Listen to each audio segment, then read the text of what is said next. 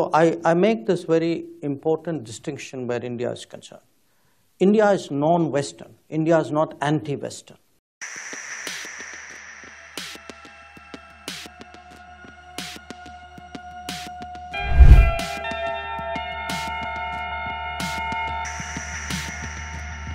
United Nations uh, obviously lacks uh, credibility and uh, to a large degree effectiveness as well. You know, the world as we live it today uh, is largely a Western construct.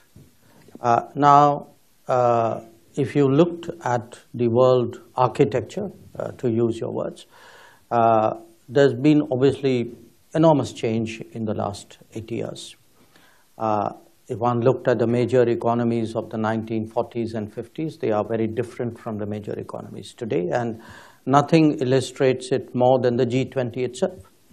Uh, so uh, the, the list of the G20 will tell you is, is the easiest way of actually, uh, you know, uh, getting a sense of the changes in the world. Now, uh, for India, when we confront a largely Western created architecture. Obviously, we would like to encourage and facilitate and induce and pressurize changes which are badly needed. But uh, we, it is done as a, to add a non-Western uh, layer and a, and a input.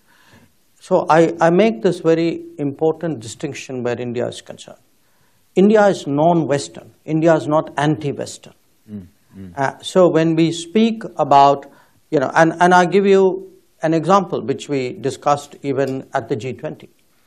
Uh, it's very clear today that, uh, you know, if we are going, we are serious about climate action, if you are looking uh, to sustain, uh, you know, to ensure that sustainable development goals are well resourced, uh, then somewhere we have to find the financial muscle for that.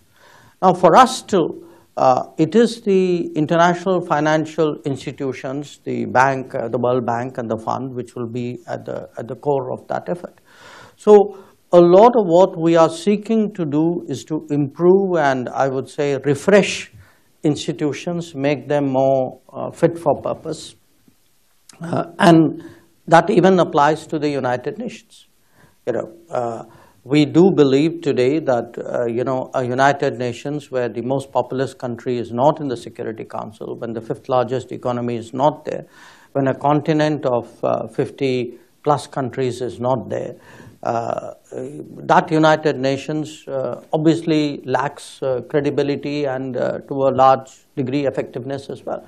So the whole, you know, when we approach the world, it's not uh, it's not with a, you know, sort of pull down the pillars kind of approach. It is, it is very much, you know, what can we do to make it better, fitter, efficient, purposeful. That's the kind of mindset we bring to bear.